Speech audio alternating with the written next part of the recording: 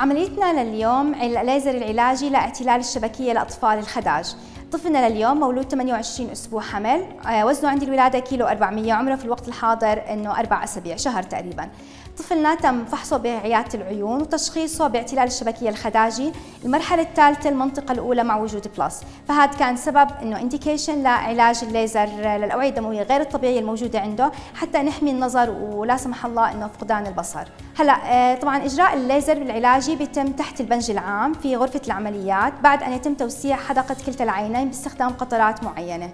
طفلنا طبعا بما إنه مرحلة ثالثة ومنطقة أولى وموجود plus أخذ طبعا إنه 2000 2000 laser spot بكل عين يعني مجموعهم 4000 هلأ بعد ما صحصح طفلنا من البنج العام وطمنا على أموره رح يرجع على آه، وحدة العناية الحثيثة لأطفال الخداج في مستشفى الملكة رانيا ورح يتم تقييم الليزر بعد 10 أيام إن شاء الله. هلا بالنسبة لاعتلال الشبكية لدى أطفال الخداج هلا هذا المرض يصيب شبكية الأطفال بينولدوا قبل أوانهم. شبكية الأوعية الدموية في شبكية العين تبدأ بالتكون بالأسبوع 16 من الحمل تبدأ حوالين العصب البصري ومن ثم ومن ثم إنه تمتد لتصل لاطراف الشبكية.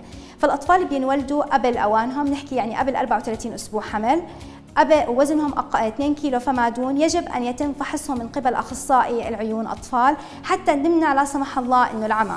هلا صح هذا المرض نسبة كبيرة من نسبة كبيرة منه يعني نحكي 90 ل 95% يتم إنه الشفاء من تلقاء نفسه لكن في نسبة بيحتاجوا للعلاج العلاج الليزر لحتى نحمي إنه فقدان البصر.